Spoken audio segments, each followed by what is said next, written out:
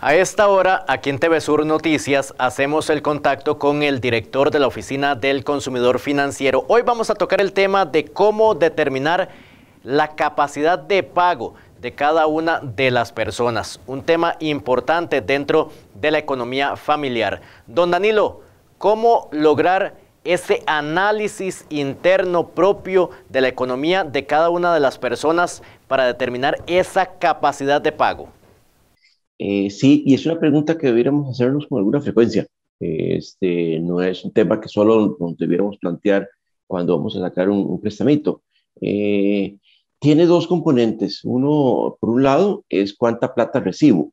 Eh, y entonces eso incluye mi salario, mis propinas, las comisiones, las bonificaciones, depende del empleo en que yo esté contratado. eso define cuánta es la plata que me ingresa. Eso eventualmente puede incluir el aguinaldo también y eh, puede hacerse a nivel personal o a nivel de la familia. Por el otro lado cuánto sale.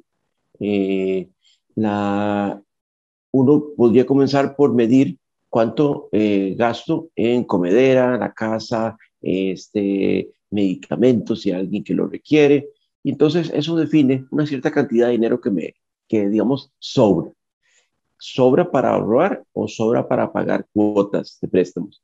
Y entonces uno ahí sobre esa base, uno eh, dice, ok, si yo recibo en total 700 mil pesos ya líquidos después de cargas sociales y tengo gastos por 200, 200 mil, eh, bueno, eh, eso me quedan ahí alrededor de unos 500 mil colones y eso me define entonces mi capacidad de pago. Ahora, no quiere decir que uno se va a gastar todo o se va a comer todo eso en préstamos, porque eh, si uno saca un préstamo de 10 millones de colones, que tiene una cuota de 300 mil colones, bueno, y ahí se está consumiendo una gran parte de esa capacidad de pago que tenía. De manera que entonces son básicamente esos dos, esos dos eh, componentes, cuánto me ingresa y cuánto tengo que sacar, cuánto tengo que sacar para lo, para lo indispensable, ¿verdad? Porque ahí comemos, nos tenemos que eh, tenemos que pagar a los chiquillos en la escuela y tenemos que también cubrirnos a comprar algo de ¿Qué porcentaje del salario puede llamarse de alguna forma normal y tener unas finanzas sanas para que las personas tengan el panorama un poco más claro? Sí, eh, se considera que alrededor de un 40% de mi ingreso neto eh, yo podría razonablemente manejar en deudas.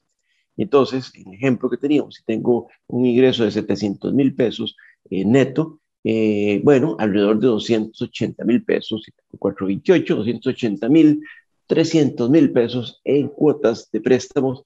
Esa es mi capacidad de pago. Esa yo debería tomar préstamos y buscar que el plazo o la tasa de interés me permitan que la cuota no sea mayor de 280 mil colores.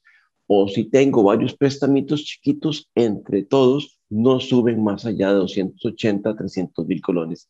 Si yo ya me como la mitad, ya ahí ando en problemas porque eso quiere decir que le estoy quitando a la comedera, a la ropa, a la educación de los chiquillos.